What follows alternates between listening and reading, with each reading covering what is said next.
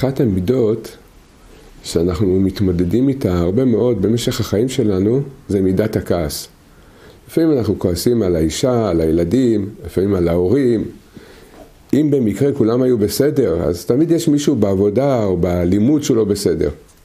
אם גם פה היה איזה סייעתא דשמיא מיוחדת, וגם הם היו כולם בסדר, בדרך כלל נתניהו אפשר לכעוס עליו. אם באותו שבוע נתניהו בסדר, אז נכעס על פוטין. ברוך השם, יש 7.8 מיליארד אנשים בכדור הארץ, תמיד נמצא מישהו לכעוס עליו. הרב דסלר בספר מכתב מאליהו אומר, נקודה מאוד מאוד עמוקה, אומר, יש שורש פנימי למידת הכעס. מהו השורש, המידי, השורש הפנימי למידת הכעס?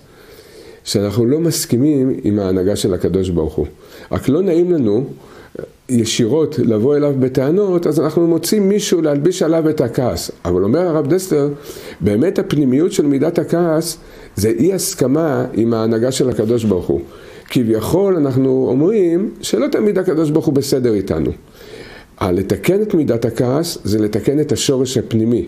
שהקדוש ברוך הוא, לא רק שהוא בסדר איתנו, אלא כל מה שהוא עושה בבריאה, משורשה, מתחילתה ועד סופה, וכל המאורעות של העולם, בלי שום יוצא מן הכלל, שזה כלל שאין לו יוצא מן הכלל, כל מאן דאביד רחמנא לתאווית. כל מה שהקדוש ברוך הוא עושה זה הכל לטובה, לטובתנו הנצחית. גם שלפעמים אנחנו מצטערים או לא מצליחים, גם זה לטובתנו.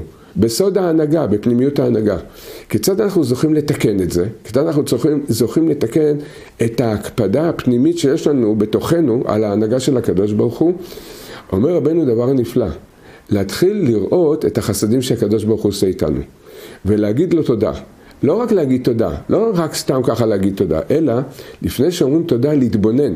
שבאמת הקדוש ברוך הוא נותן לנו כל כך הרבה בחיים שלנו, בין בגשמיות ובין ברוחניות ובין בנפש ובין בממון ובכל כל כך הרבה תחומים הקדוש ברוך הוא נותן לנו, משם נתחיל להתבונן בטובות, בחסדים, בשפע, בסייעתא דשמיא שהקדוש ברוך הוא נותן לנו ולהגיד על זה תודה.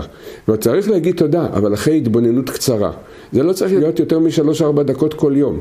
להתרגל שלוש דקות, להתבונן בטובות, בחסדים שהקדוש ברוך הוא עושה איתנו, ולאחר מכן עוד דקה, דקה וחצי, להגיד לקדוש ברוך הוא תודה רבה על כל מה שאתה נותן לי. זה יוליד בתוכנו גם את ההבנה ואת ההתבוננות לראות שגם החסרונות הם לטובתנו. כי לפעמים בשבילנו, בשביל הטובה שלנו, הקדוש ברוך הוא יודע, אם אני אתן משהו לאדם הזה, אפילו אם אנחנו רוצים את זה, אבל הקדוש ברוך הוא יודע שאם הוא ייתן לנו זה יהיה בסופו של דבר יתהפך לא לטובה, לא לטובתנו. לכן התיקון של מידת הכעס בפנימיות, שהכעס, השורש של מידת הכעס זה הקפדה על ההנהגה של הקדוש ברוך הוא, למה אתה עושה לי את זה? להתרגל לראות את החסדים של הקדוש ברוך הוא ולהגיד לו תודה.